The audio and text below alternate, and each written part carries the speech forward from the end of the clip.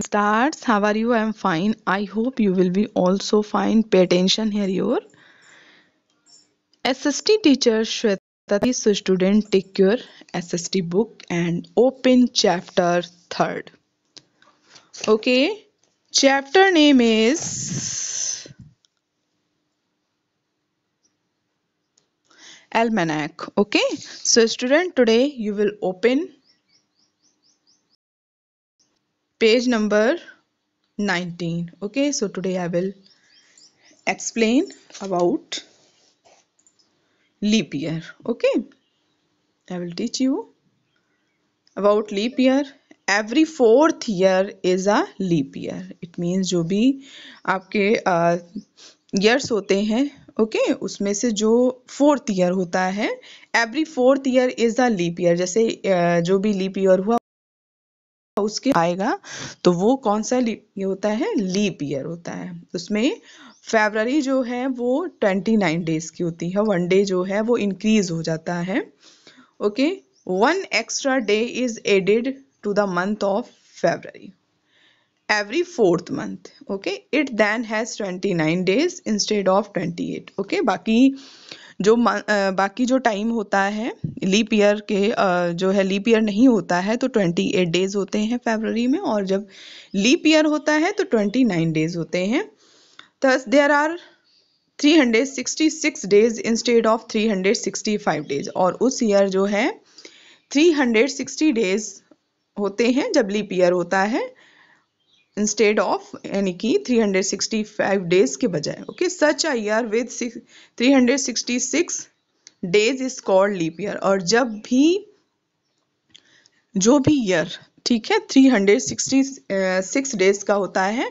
और ये जो है जो लीप ईयर नहीं लीप ईयर में नहीं आता है, उसका वन डे का one upon four one upon four part जो है ऐड होते होते फोर्थ ईयर में आकर के वो वन डे बन जाता है। वन डे बनने के बाद जो है, उस ईयर में three hundred sixty six days होते हैं, जो कि फेबररी में ट्वेंटी नाइन डेज़ होते हैं okay next let's know more Vikram Samvat is an Indian calendar जो इंडियन कैलेंडर है, वो विक्रम संबत है।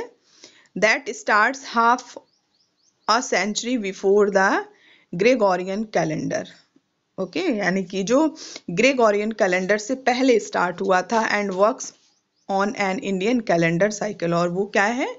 इंडियन कैलेंडर साइकिल यानी कि जिस तरह से चलता है मंथ्स उसमें भी डिवाइड है, Hindi months okay okay? Next, Saka calendar okay okay Saka calendar.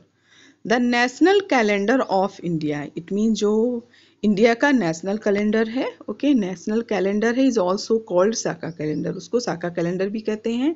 It is use in India besides of Gregorian calendar यानी कि ये ग्रेगोरियन कैलेंडर के साथ साथ ये जो है, कैलेंडर भी यूज़ किया जाता है। Saka calendar Saka calendar was adopted as the national calendar इसको एक राष्ट्रीय कैलेंडर के रूप में जो है, इसको एक्सेप्ट अडॉप्ट किया गया था इन 1957 में by the calendar reform committee okay यानी कि रिफॉर्म कमेटी के द्वारा जो है, इस कैलेंडर को अडॉप्ट किया गया था just like a Gregorian calendar जैसे कि ग्रेगोरियन कैलेंडर को किया गया था it has a normal year of 365 days इसमें भी जो नॉर्मली जो है 365 डेज़ होते हैं लीप ईयर में 366 डेज़ होते हैं। देयर आर 12 मंथ्स ओके और वन ईयर में 12 मंथ्स होते हैं in Saka calendar which are named as following जो कि देखिए नीचे दिए गए हैं ओके okay?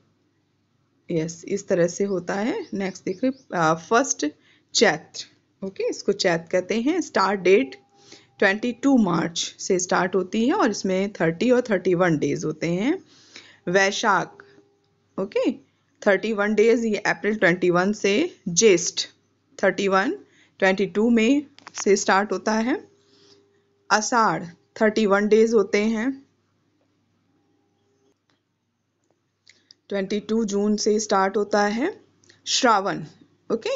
श्रावण जो, सावन होता है, okay? Thirty one days July twenty three से स्टार्ट होता है, Bhadrapada, okay? Bhadrapada thirty one days होते हैं, August twenty three, okay?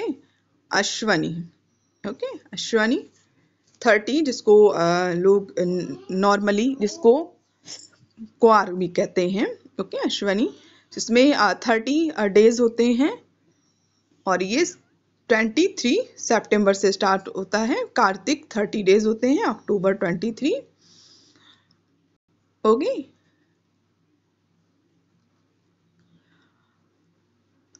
Agrahayan Agrahayan okay thirty days November twenty two से स्टार्ट होता है, पौष, यानी कि इसको पूस कहते हैं, Paush okay thirty December twenty two Magh okay Magh जिसको मोस्टली लोग ऐसे बोलचाल की भाषा में माँ बोलते हैं। ओके माघ का मंथ जो होता है, वो थर्टी डेज़ का होता है। जनवरी ट्वेंटी वन से स्टार्ट होता है Phalgun. Okay thirty days and ये फेबररी ट्वेंटी से स्टार्ट होता है। Okay so these are Hindi months name Saka calendar has a deep connect with the history of India Saka calendar जो है वो भारत का जो इतिहास है, उससे बहुत ही जो है डीप गहराई से जुड़ा हुआ है। The adoption of Saka calendar as national calendar of India is a tribute golden period of our country okay यानी कि जो हमारे देश का गोल्डन पीरियड था, उसका एक ट्रिब्यूट है okay this calendar is recognized in many other countries such as Java Bali and parts of Indonesia okay यानी कि इस कैलेंडर को दूसरे देशों में दूसरे देशों में जावा वाली और जो कि मतलब इट मीन्स दूसरे देशों में इसको जावा वाली के नाम से जाना जाता है एंड पार्ट्स ऑफ़ इंडोनेशिया में also okay next day it means tomorrow I will discuss I will teach you about time line okay so student today you will you will learn key terms of chapter 1 okay you will learn and write both okay so you will uh, learn belief civilization subcontinent of chapter one okay okay, आपको कौन से keywords learn करने हैं chapter one के बिलीफ civilization subcontinent ये आपको three keywords uh, को लर्न करना है और राइट करना है और ओके okay, आपको उसको लर्न uh, और राइट करने के बाद जो है, उसको आप करेक्शन के लिए क्लास में सेंड करेंगे।